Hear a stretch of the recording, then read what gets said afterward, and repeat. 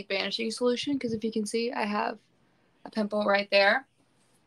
So I'm just going to show you guys how it works. It's very similar to the Mario Badescu drying solution, but I like this one much better. It's a lot easier on my skin. So it looks like this comes in a nice large package, hand for reference. And it's one of those things where you don't shake it, you want it to be like centered at the bottom like this. Let me read exactly what it says. Solution anti-imperfections. How to use. Okay, clarify and calm, banishing solution. How to use. Dip, don't shake. Place a cotton swab into the, sediment, the sediment and dot onto affected areas. So I'll just show you guys because I'm actually going to put it on. So if you've never used anything like this, I like you don't um don't shake it up.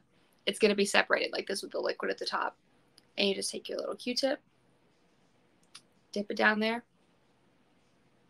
And then I'm going to take it and sorry, I can't really see, but I know my pimple's over there somewhere. Oh.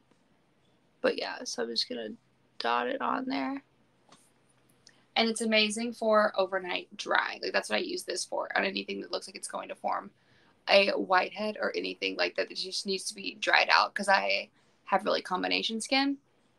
Oh, I also didn't think of somewhere to put this. I have really combination skin, so some areas will get more oily and some areas will get more dry, as it happens with combination skin. And it's really nice to be able to spot treat in a way that's like it would it would be it's almost like a drying mask like you know when you do the mask and it um, gets really cakey and you have to like scrape it off and wash it off with warm water. You can like see all your pores through it and stuff. That's essentially what this is.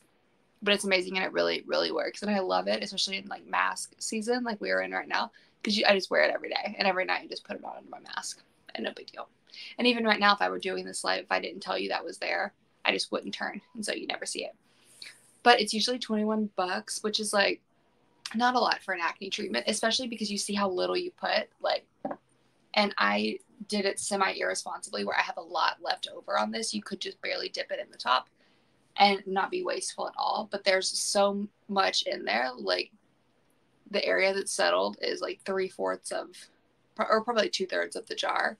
And so it lasts you a really, really long time as opposed to like a cream or an ointment, which comes in a smaller um, tube or whatever. And then you apply it like so. So anyway, I love this. It's a lifesaver. Everybody knows that the Mario Badescu one. It's that one's like a cult classic, but I like the um, ingredients of Indie Lee much better. I really like the brand Indie Lee, and I feel like it lasts longer because the Mario one is a smaller package and it just doesn't. I feel like it has cult status without really deserving cult status, whereas with this one, I really, really always see the difference. Like I really trust this product. Like I said, twenty one dollars normally during my life, and in the 15 minutes immediately following, it is $17.85, which is very normal for an acne product, and really such a steal because it's so worth it. And if it keeps you from having a pimple, like I always put it on it if I start, especially on like my jawline area, I'll sometimes get like a big pimple, like one or two at a time. And if I can catch it coming and start with this, it really, really shortens the lifespan of it.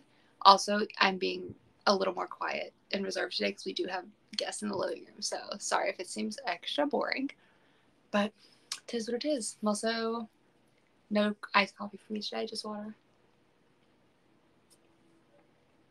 All right. So, Let's move on. Anyway, Indie Lee is great. And since my thing is get ready with me beauty, I thought that instead of doing just makeup, because I also have all of my makeup and a lot of it is sold on Verishop, but I don't want to over order things that I have. So I started ordering things that I think are just as important for beauty, but are not, it's not like the stereotypical, like, and here's my blush and here's my foundation or whatever. It's all the things that I think are unsung heroes of beauty.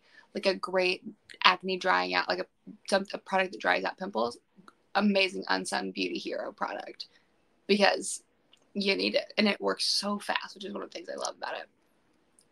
All right, let's go to, oh, what is this?